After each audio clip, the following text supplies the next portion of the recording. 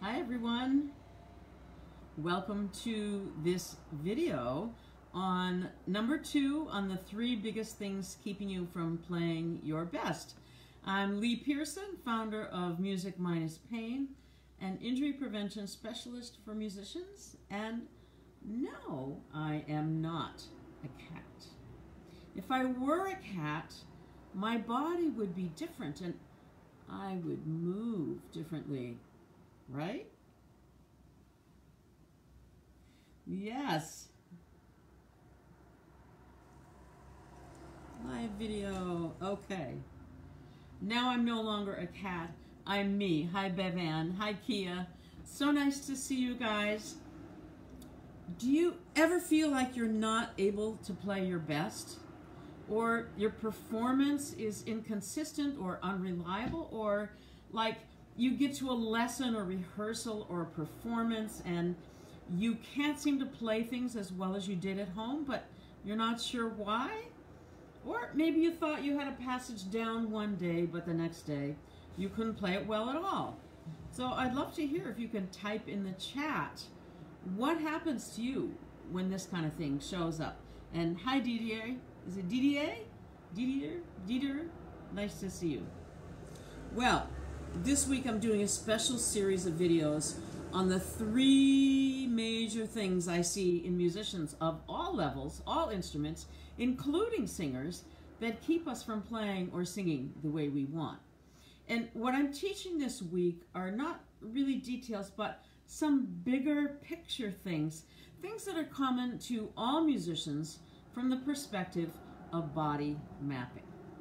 And if you'd like some great tips on how to overcome what's holding you back, stick around and check out the videos this week. Yesterday, we talked about how a narrow focus can inhibit our ability to be expressive. So if you missed it, it's still posted here in this group, Born Free Playing Freer. But today, I want to share with you some ideas about what I think is the second most important thing. And that is understanding how our bodies work to create music easily, efficiently, and expressively. And as a preview, yesterday I asked you to draw your understanding of your breathing structures. Why? Because how you understand them to work will affect your ability to breathe. But this is not a video on breathing. I have others of those up on Facebook. Instead, that's just one example of what I'm talking about today. And in relation to being a cat, yes, if I were a cat, things would be different about my body and I would have a different understanding and it wouldn't be intellectual, it would be intuitive, right? Because I wouldn't be thinking about it. So let me give you a little bit of context here. If you were a professional athlete, and some of you may be, would you be trained in how your body works? In what exactly you need to do to perfect your pitch or your serve or your run? Well, of course, you'd get constant coaching on that throughout your career, and things would be changing during your career. You wouldn't always be doing exactly the same things because your body changes, your situation changes. Well, here's the thing musicians' careers last much longer than athletes. But were you trained in how your feet affect your bow arm or how to keep your neck free of tension or how your breathing is connected to the pelvic floor? I bet you didn't have that in your drawing. Or how the way you use your abdominal muscles can affect your tonguing or even how texting can impinge on the nerves to your hands and can cause hand injury. So these are only a few of the examples of how our lack of or incorrect information about how our body works can limit our playing and singing. Yesterday, I was working with a violinist who was having a lot of hand pain in her bow arm, especially around the thumb side. What she didn't know was that she had actually mismapped where the upper arm joints were. No one had ever taught her that the upper arm bone, I'll show you here, the, the humerus, this arm bone joins into the shoulder blade here, not into the collarbone. But more importantly, no one had ever asked her where she thought that joint was.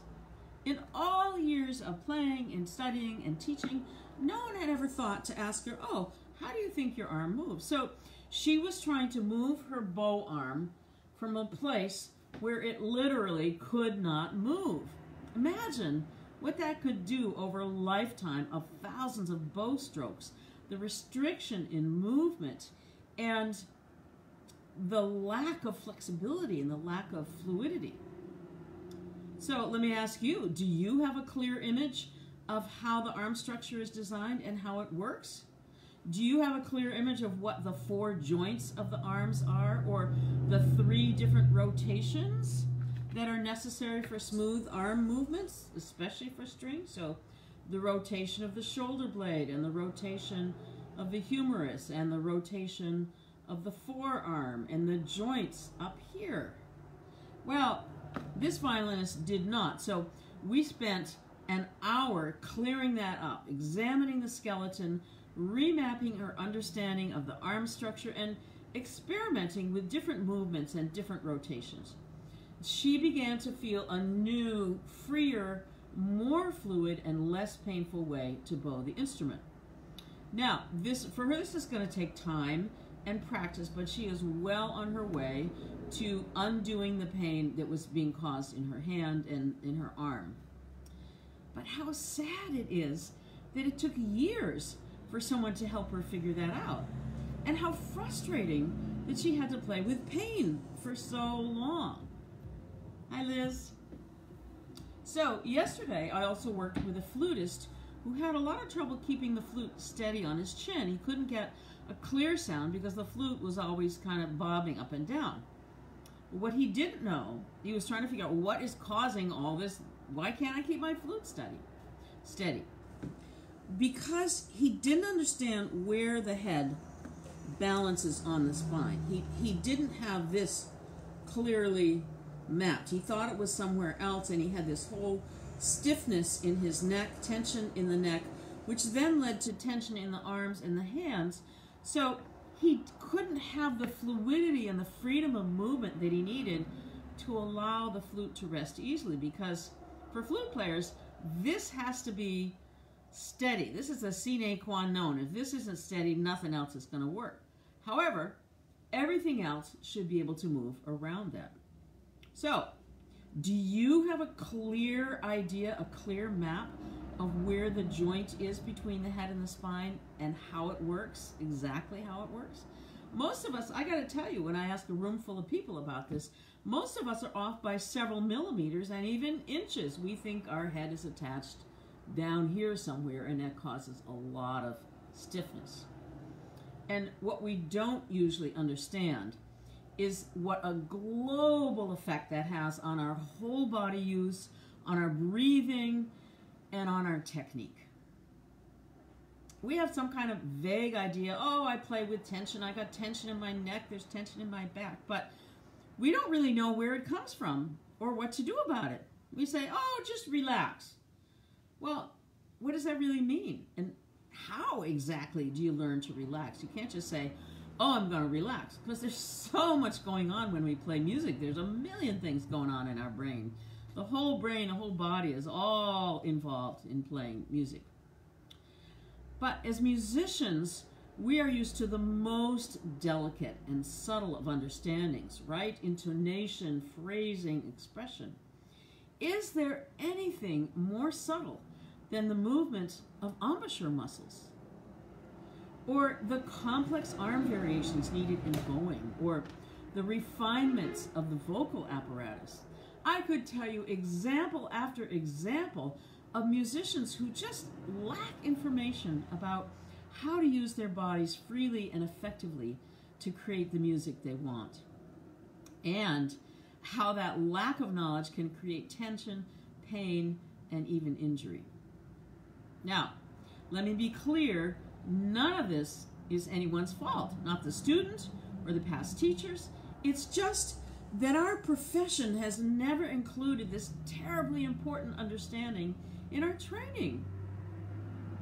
And, you know, it's not the only thing, of course, that can impact our playing. Sometimes there are organic medical causes, and for that reason, we always need to have a thorough evaluation by a healthcare professional.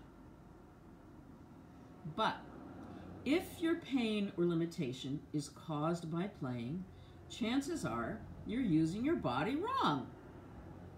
Well, not really wrong, but just with incomplete or inaccurate knowledge about how it's designed to work. So if you want to learn more about this, you're going to want to know more about body mapping. And there are, oh, about 70 of us body mapping educators in the world. And here's what we do. In 50, about 15 minutes, I can help you uncover the cause of your pain and tension and help you chart a course to becoming pain-free. Now, I can help not because I'm some magical healer, healer or a cat or anything else, but because I'm trained, as are all my body mapping colleagues, to see how limitations in playing can be caused by a misunderstanding of the body. And I can watch you play and tell pretty much in 15 minutes what's going on, that's what are the misunderstandings that you have. So I'd love to hear from you what you think you need to know more about in your, the way your body works. What do you struggle with? Limited breathing, numbness in your hands, neck pain, or back pain, or tight arms, tension? Type it in the chat if you can, if you have access to the keyboard right now. I'd love to hear what's going on with you, what are the things that you struggle with, and we can set up a complimentary video session and see if the way you're playing is contributing to your struggles. So, if you find this useful, please like or love or wow and share because the more musicians we can help understand the importance of how to use our bodies, the more we're going to be able to reduce the high rate of injury within our profession, that 75% rate of injury. So, tune in tomorrow. I'm going to teach you the third most important thing I've learned over the 20 years I've been teaching body mapping, and that is how our relationship to the floor can help us play more freely and without tension.